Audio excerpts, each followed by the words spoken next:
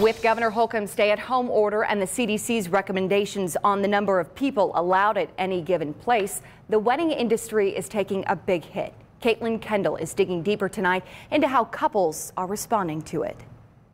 Krista, we're both newly married, so we know firsthand what it takes. Months, even sometimes years. A lot goes into planning that big day. So imagine planning your dream wedding only to have it all fall apart.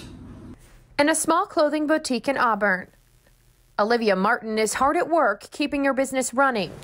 So I've gone onto Facebook. I've been doing live sales almost daily. I've been having um, sales on our website for things. But it is, it's such a time of unknown and what are we going to do? But Martin is also working on planning her wedding to marry her best friend, Drew Hansen.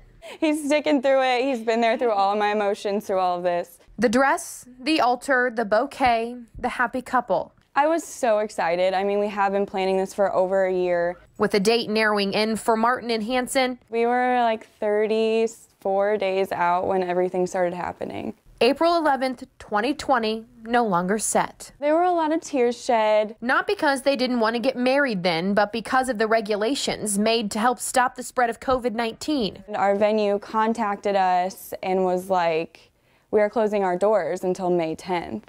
With wedding plans up in the air, the couple left to figure out what could be done. I have so many things that say 411 2020 on them that I'm like, what am I going to do with these? Now, Martin is planning what she says feels like a second wedding. Other than everything that says 411 2020, um, I'll have to get all of those redone.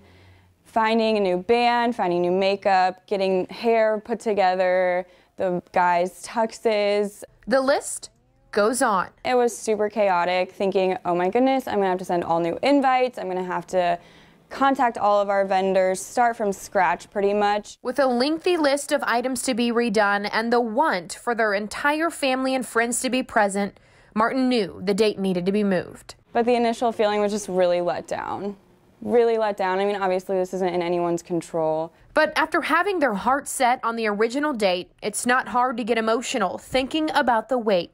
The wait to say I do, the wait to walk down the aisle, the wait to start forever. It's just crazy. Like,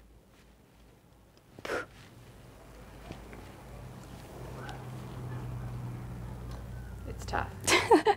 yeah, but we'll get through it. It's going to be great just a lot of um, letdown. Jody Garrettson, like Martin, also owns her own business. This one, a chapel and wedding planning. A little crazy, a little crazy. Garrettson says she's seen the impact COVID 19 has had on the wedding industry. And it hasn't just been emotionally. Right, the financial end, it's hitting all of us. It's hitting the couples, it's hitting the vendors, um, all the way around. But finding the silver lining at the end of the day, you're going to be married to your best friend. It's something she hopes all couples will do. You know, just try to make the best of it. Um, we can It'll be something to talk about in 10 years for sure on your anniversary. And that's exactly what Martin and her fiance are working on. It'll work out for the best. We just need to remember that we're getting to marry the love of our life no matter what. You may be wondering, what about the honeymoon? Martin and her fiance were set to go on one, but have since had to postpone.